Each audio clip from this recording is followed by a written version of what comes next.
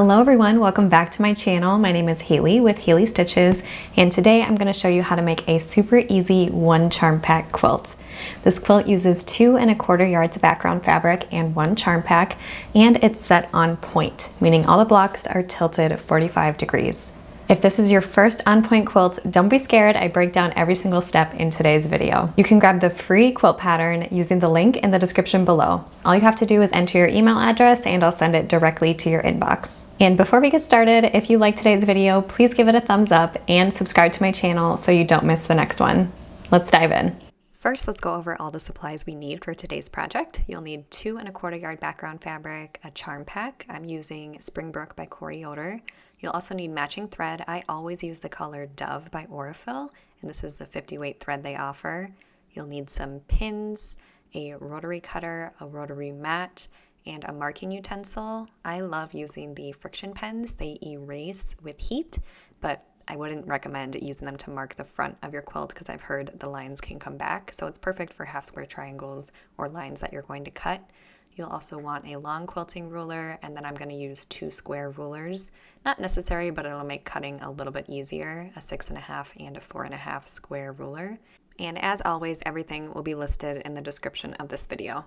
We'll start our project by cutting our background fabric, and I'm using a white background to really stand out against my charm pack fabric that I've chose. And to get started, I always square up the edge so I get a nice 90 degree angle and then I'm just going to cut five inch strips. We'll need a total of five five inch strips. And I just changed my rotary blade. I'm testing out the endurance blade that Olfa offers, and I'm really enjoying it. But the higher price tag makes me a little nervous because I do tend to nick my blades, and I feel like it's such a waste if I nick a blade before it's done. Now I'm shifting my fabric back over so that I can cut my four and a half inch strips. We'll need a total of seven four and a half inch strips for this quilt. While I'm cutting this background fabric, I would love to know what your favorite rulers are. I bought these OmniGrid rulers when I first started quilting because they're really budget friendly, but I've had to add some sticky grips to the back, which has worked out totally fine. But I know that Creative Grids comes with a non slip backing, and I have a few Creative Grids rulers I've added to my collection, and I really love that backing. So let me know what your favorite rulers are. And now I'm just squaring up the fabric again before I cut my next set of strips. I tend to square up the fabric in between each kind of set of strips that I cut. And for this set, we are going to need seven inch strips of fabric. So there's a lot of ways that you can cut fabric that's longer than the ruler you have. And for this, because it's only an inch longer than my ruler, I'm just gonna use my cutting mat lines and my ruler.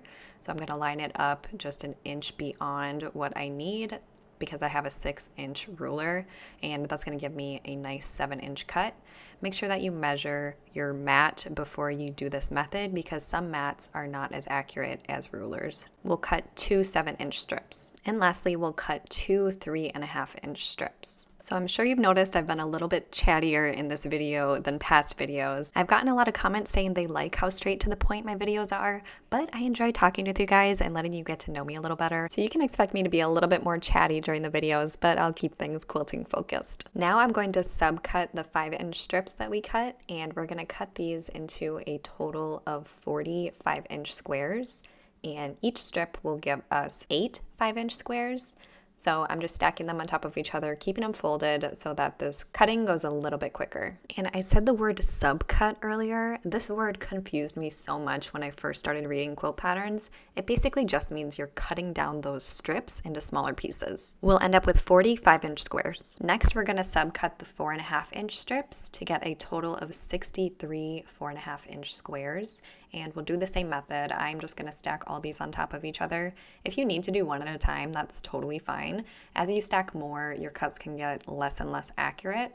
And remember to cut off that selvage before you get started. You'll be able to get nine four and a half inch squares from each strip, and that means that for that last ninth square, you'll have to unfold the folded edge and then just trim it up into a four and a half inch square. And all this trimming is where a four and a half inch square ruler really comes in handy. The free pattern comes with a cutting diagram, so you'll be able to visually see how you're gonna cut all these pieces and how to cut the squares from the strips. Again, you'll need a total of 63 four and a half inch squares. Next, we'll subcut our seven inch strips, and in a perfect world, you'd be able to get six seven inch squares out of one seven inch strip but I came up a little bit short. So there is extra fabric here if you need to do this because 7 times 6 equals 42.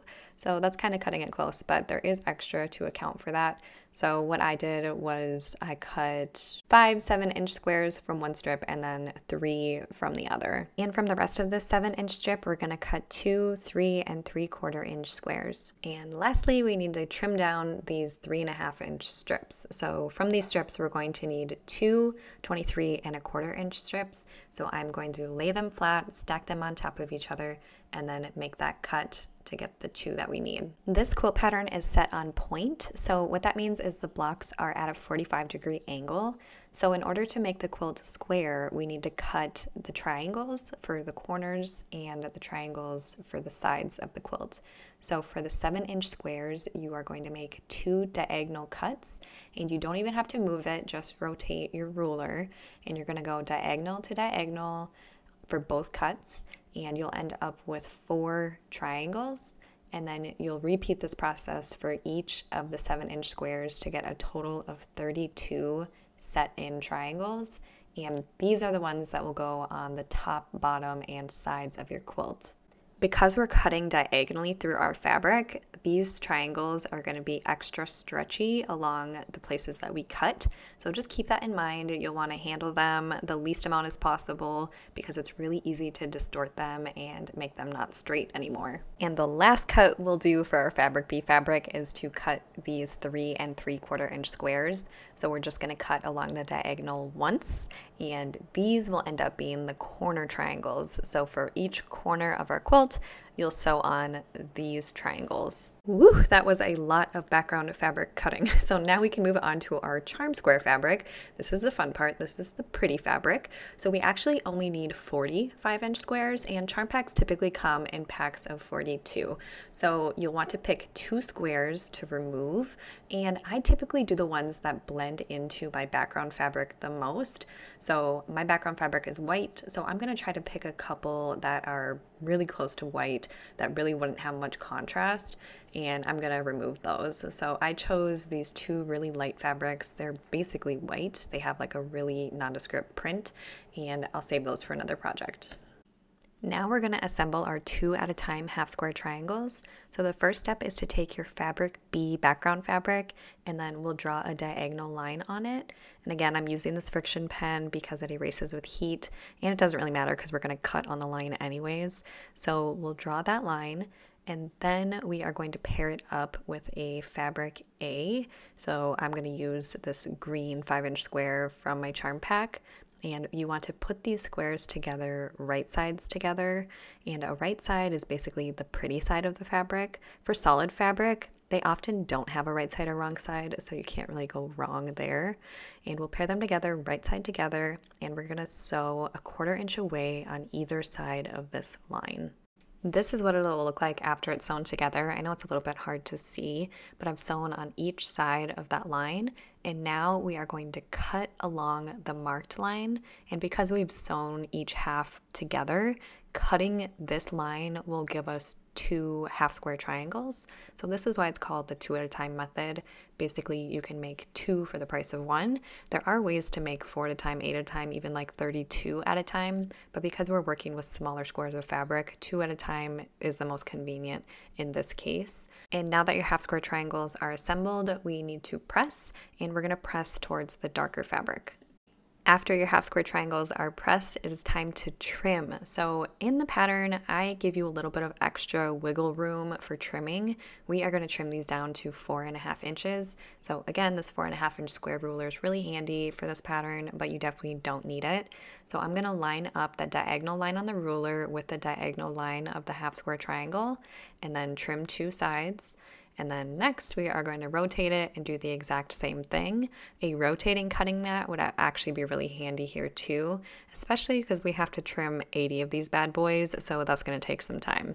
So I really don't mind investing in tools that I'm going to use for projects like this to make it a little bit easier, like a block lock ruler, a rotating mat. Those are things that'll make it a little bit faster, but you definitely don't need those tools to trim half square triangles. Like here, all I'm using is a square ruler. And you can use a ruler of any size. You don't need to use the exact size that you're trimming to, but it is helpful. And here's my stack of 80 assembled and trimmed and pressed half square triangles. Now it is time to actually assemble our quilt. And I know an on-point quilt is a little bit different, might be a little bit scary, but it's not as complicated as it looks. So the first thing I recommend is actually laying all your pieces out so you can get nice color distribution with your charm squares. And after that, then we can start actually assembling these rows. So this is the first section we're to do. It's kind of like our first row and it's the corner of the quilt. So the first step is going to be attaching the corner triangle and that's the small triangle we cut from those three and three quarter inch squares. We're going to attach the corner triangle to our half square triangle. So I'm going to move these set in triangles to the side and we're just going to focus on the corner triangle and our half square triangle. So the first step is to fold each of these in half and make a crease in our fabric. And this is just so we can visually see where the center of the triangle and the center of the half square triangle are. And after we have made those creases, we are going to pair up the fabrics right sides together on those creases. And this will allow us to keep everything nice and centered as we sew it together. So we are going to sew this piece together with a quarter inch seam allowance. It can be helpful to use pins here as well. This is what the unit looks like after it's pieced together. And the corner triangle is on the left, the pattern fabric is on the bottom, and those dog ears are totally normal, so expect those to be on your project. Next, I'll show you how to attach the set-in triangles or the triangles on the sides and the top and bottom of your quilt. So these are the larger triangles we cut from the 7-inch squares. So you are going to line up the 90 degree angle with the 90 degree angle of your half square triangle and then sew along the side there. You can trim the dog ear if you want to or just leave it, whatever you prefer. This is what that first row looks like after it's assembled and I'm gonna lay out the second row so you can see how this sort of comes together. So again, this is the second row and if you just turn your head a little bit, you kind of see that it's the second row of the quilt and you're just gonna repeat this process. Piece everything together and here's one, two, and three. So these are the first three rows and I am pressing everything away from the half square triangles. It just seems to be the most convenient and it's kind of the way the fabric wants to go. And this will allow each of the rows to nest as you sew them together. I'll show you a closer look of what nesting looks like. So the seams in row one are pressed in one direction and the seams in row two are pressed in the opposite. So each of these intersections, the bulk of the fabric is on either side of the seam. And this allows things to stay nice and square and it gives a really great finished look when the seams are nested on each row. So this is what it looks like when it's all pieced together. And you can press your seams whatever direction you like. I pressed mine open um, and it has these little dog ears here that will get trimmed at the very end of the process once everything is sewn together. So you're just going to keep going row by row to assemble the entire quilt and it can kind of help you if you rotate everything so it's the right direction for sewing um, and then you can see it come together as we rotate it 45 degrees. For the video, I separated out the first three rows and then the rest of the quilt, but if you want it to be more convenient to sew together as you're piecing the entire quilt, I would recommend doing like half and half. So this is what the whole thing looks like after it's completely pieced together.